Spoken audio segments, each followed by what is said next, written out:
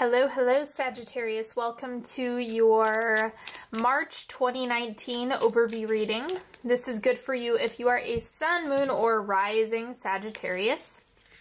And while I'm throwing these cards down, just go ahead, get center, focus on taking a couple deep breaths into the diaphragm, notice anything that wants to come up today or set your intention for what you'd like to be revealed during this reading.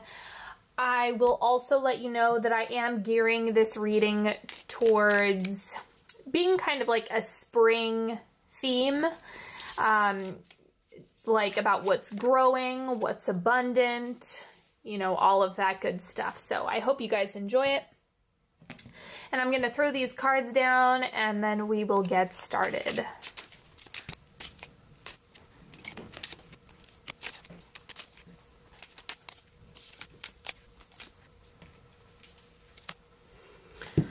All right, let's get started with this truth bomb for you. Exceptions are made, make them ask for them.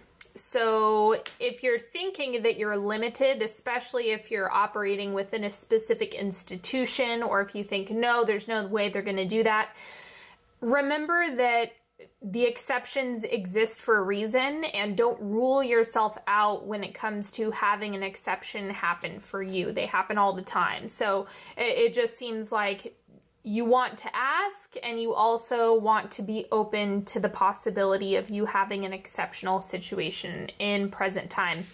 Then we have Elixir. So it's all about focusing on what exactly are you building? What are you concocting? What recipe are you putting together for yourself at this time? It's really important to consider what recipe you have going on because that is going to dictate what manifests more than anything else. It's kind of like what you're cultivating through your thoughts, words, and actions. That's what ultimately makes up an elixir. So every step that you take is working towards something, whether it be good or bad. So you may as well be intentional with it. And then the animal card for you is Cobra, so needing a little bit of patience is coming up. When I see this card, every time it shows up, all I can think about is how they kind of like hover. You know, how the Cobra will just wait and wait and wait before they strike. And so that's kind of what you're having to deal with. And I don't think it's like if you have an idea and you can act on it any day, you should do that. But this is saying if there's, you might be waiting for a manifestation to show up or something else that you do need to be patient with. And when that opportunity comes up, then you strike. So it, it's about timing, but if you this is something that's going on in your own head, then it's probably just a limiting barrier and an obstacle you're creating for yourself rather than something that's legit. So just just remember that your brain is going to try to say, no, no, not now. T right now isn't the right time. No, you should wait. No, no, no. It's going to hold you back, but you can't guarantee the future. So if you want something, you got to get at it now. And then we have catharsis. Feel your feelings before you try to move forward. The solution may be emotional rather than logical. A messy situation may be an important healing in disguise. I love that last one because it's so true. And whichever phrase came up as being uh, the most impactful is your intuition, so trust that. Now let's get into the reading. I'm just starting out with typical central energy crossing with shifting out what's oncoming. So this is the central energy for you. We have the Four of Wands focusing on home. This is actually reminding me of the Catharsis card as far as it being focused on feeling. And this is definitely a feely card. So spending time at home, spending time with people that you care about, focusing on taking good care of yourself is important. It looks like this is going to bolster all of the other things that you have going on, so make sure you prioritize that. The crossing energy for you is the tower, so release and liberation is already here. So that's the one good thing that you have to um, look at is that this is something that's already happening. It's not oncoming. So like I would I would much rather have the tower as the crossing energy than over here. So it's kind of like whatever you're unearthing, whatever it is that's being shed, whatever is shifting out of alignment with you is already in the works. So you don't have to worry about um, like turbulence ahead. More than likely, turbulence is either current or already happened, and so things are going to uh, move and start smoothing out. I'll get more context for you. Just know that this is an organic part of death and rebirth cycles. And I think that that needs to be normalized because your entire body is going through death and rebirth cycles every single day. Think about every single cell that dies and all of the cells that are reborn in your body every single day. So this is a this is something that you really can embrace for yourself and use it to your advantage. And that's why the elixir card is coming up. What you have shifting out is the 5 of wands. I love this card so much. It's all about problem solving and seeing through what you currently have going on and being able to construct something better than you thought possible. And this is the problem solver card. So I think maybe you identified the problem and part of grounding yourself and releasing what needs to be released is how you solve that problem. So whatever it is that you're like, all right, I need to let this go. It needs to be done. I need to cut it off that is where the solution lives. And so I think you kind of came to that revelation, and now it looks like the tower is actually something you are deciding to do or have already decided to do. It's not something that is like you getting swept off your feet. I don't actually even think that you know the universe needs to do it for you it's more like i think you probably came to this conclusion mentally on your own the oncoming energy, what is to come, King of Pentacles, stability. So whatever you've cut out and released is leading to greater stability for your future. This is also encouraging you to focus on long-term plans and keeping all of those in mind as you work through this. So it's like I said, things are smoothing out, not getting worse. And that's the the beautiful thing. I shouldn't say that with quite as much conviction because ultimately it depends on where you're at. Like if you if you truly believe that because if you don't believe it then it won't happen. Eh, that's just kind of the way brains work. So that's that's the whole thing. If if you think this is hogwash then well, than it is. so this is just uh, really encouraging you to look at your own ability to ground yourself, to align yourself to what feels best, right, and true for you, and trust the decisions that you're making in that direction. Now, this is advice for whatever you're manifesting. So money, partnership, new job. This is advice on how to get that. Ace of Cups, fill your tank fill your tank.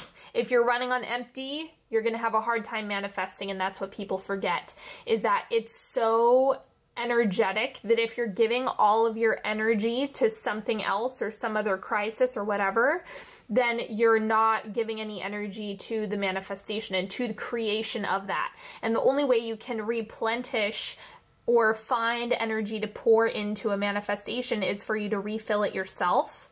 And so like let's say you're strapped on time, you're just stuffed to the gills with stuff to do.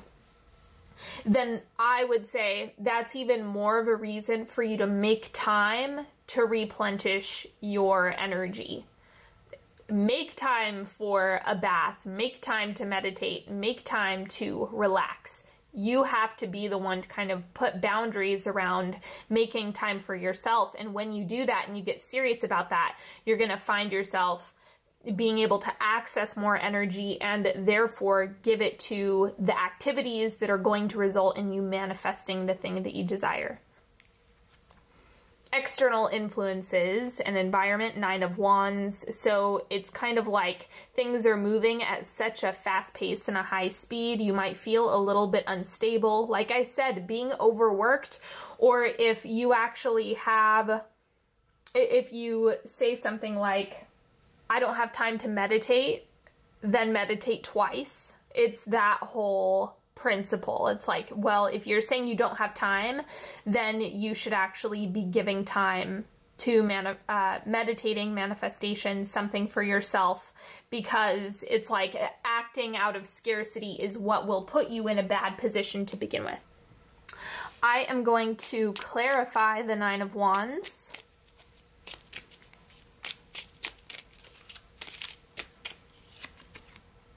Ten of Cups. So it's it's like you're heading in the right direction. You're getting to the fruits of your labor. You're it's like things are going probably really really well. It's just that the pace is going to feel a little bit chaotic. It, it might feel like a hodgepodge. It might feel like you just have to plan one day at a time. And it because if you look at this card, you can see it's getting a little hairy, you know, trying to keep everything balanced and keep everything moving the way it needs to. And that's okay. It it happens. You just want to remember that things are going better than you're probably seeing them go.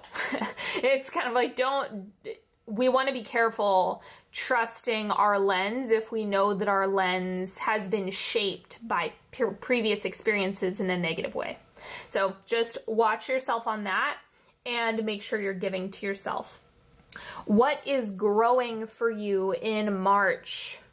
Justice, balanced thinking, deeper alignment with yourself, your needs, your wants, your desires. I'm going to clarify this as well. Queen of Swords. So this is just having ownership over your thoughts, ideas, and beliefs. I think that's getting more and more ingrained this month, like you just being able to sit with yourself, with your ideas, and, and pour energy into that. So it looks like if if all goes well, if you are really taking aligned action, you can actually find a way to really stabilize your environment um, just through your own presence and your own ability to kind of ground yourself, give to yourself. That's what facilitates an experience of being grounded is really being able to cultivate that within yourself. And it all starts with your perception and your mind. So master the mind and everything else can fall into place, but it really requires you to do some mindset work. That would be like my top recommendation to support this because it looks like if you're pouring into, I'm going to adjust my mindset, adjust my mindset, and you do that work, it's going to have major payoff uh, but it does it, it does take time to grow. So just allow yourself to own that, and you're gonna find that you have you're just reaching your potential even more. What is abundant? So, what do you have access to a lot of this month? Seven of Swords. I'm going to clarify this one.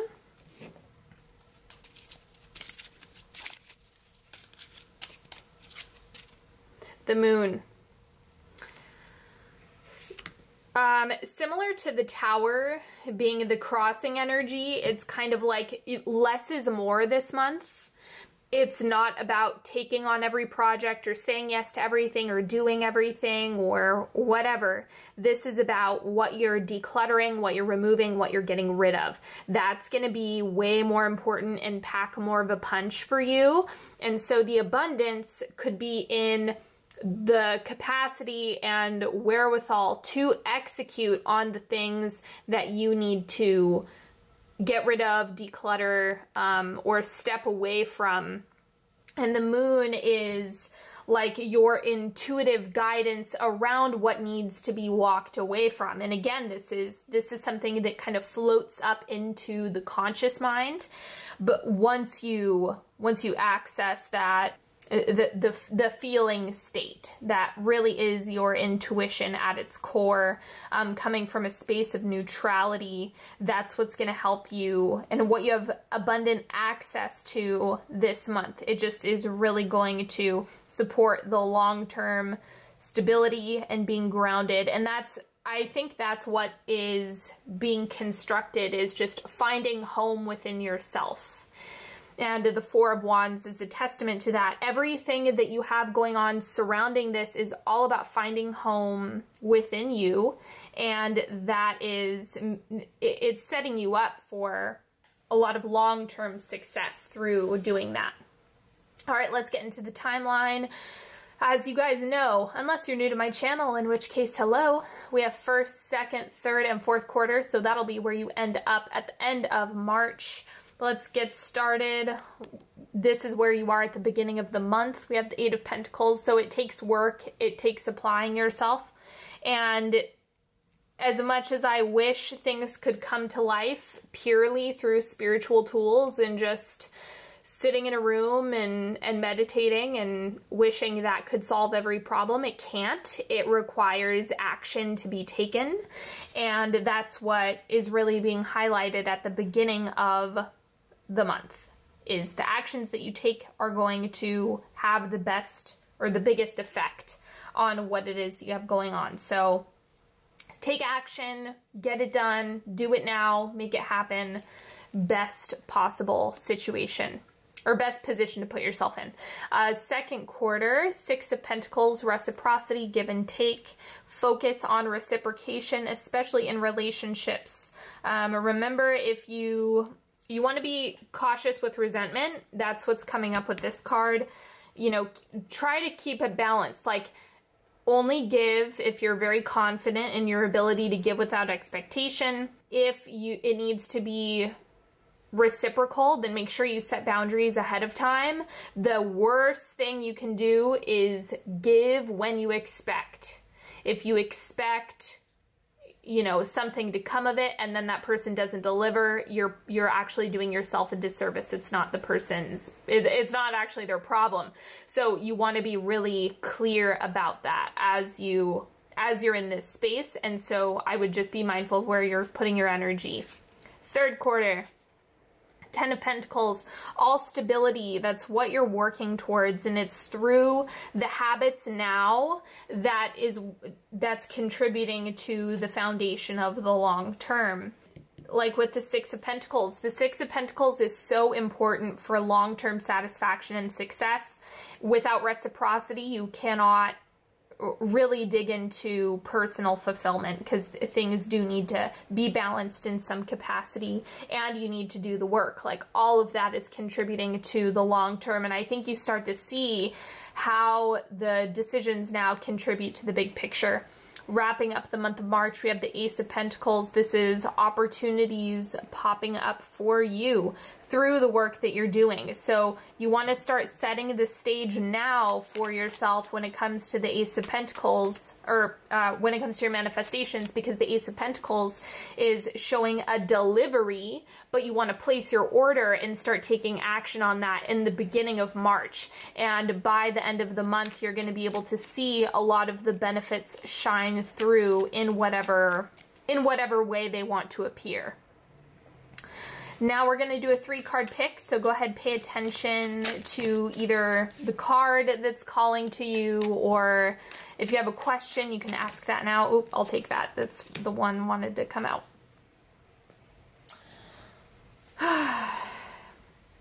go ahead, card one, two, or three. Or you can, you can pick however many you want. It doesn't really matter.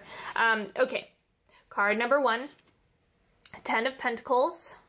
All right, and for those of you that are like, where's the 10th pentacle? It's right there in the center.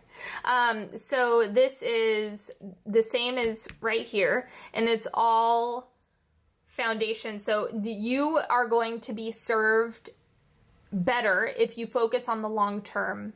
Take action in present that contributes to the long term. That's the best track for you to stay on this month um, or with whatever you're asking about. You have to think long term. Do not make decisions based on short term, like impulsive bursts. That is not going to serve you well, particularly in March. As you're making decisions and setting yourself up, it's like really focus on the long term. Um, I'm getting a special intuitive hit when it comes to relationships. Like, if you're making decisions around relationships, if nothing were to change ever in the current relationship, the way things are, would you be okay with that? Like the, that type of mentality is what you want to consider in all contexts, including jobs and things like that. You have to think long term, and you also want to go into it without any um, modifications. Like not looking at something's uh, something's potential, but instead looking at what is. Card number two, we have the Five of Pentacles, disappointment, frustration, what where your expectations at. This is pointing to some unmet expectations. So watch yourself because this is this is avoidable but you have to be clear about what you expect from other people and you have to communicate that. Otherwise don't have expectations. So it's just about how you set yourself up when it comes to what your expectations are and who you're communicating those to. Be careful with um, you just don't want to set yourself up for failure by expecting a whole bunch and not communicating it or not working towards it Card number three, we have the Mother of Swords. This is the Queen of Swords in a normal deck. So mastery of mind. So for you, the trick is mindset. It's through making those adjustments to the lens that you're working with. That seems to be most important. So down here in this area, because um, we have Queen of Swords right here as well as the Justice card, this is like the hot zone for you as far as what's growing and what needs to be taken. It, most of your attention needs to be on your lens. So focus on figuring out what your origin story is, what is working for you, what's not working for you, what is your truth, what's not your truth. And that is how you can really get an edge in March, and it's going to serve you really well. All right, my Sagittarian friends, thank you, thank you, thank you so much for stopping by and hanging out with me today. I certainly hope you've enjoyed this reading as much as I've enjoyed reading for you. And don't forget, if you want to work with me one-on-one, -on -one, all of the links are in the description box. I love working with you. It is such an honor being able to hold space for each and every one of you that works with me. And if you want monthly love readings, don't forget they come out on the first of every month on my Patreon. And I also do weekly sign-specific readings, so check that out in the description box. And until next time, have a lovely March, and I will talk to you later. Bye bye.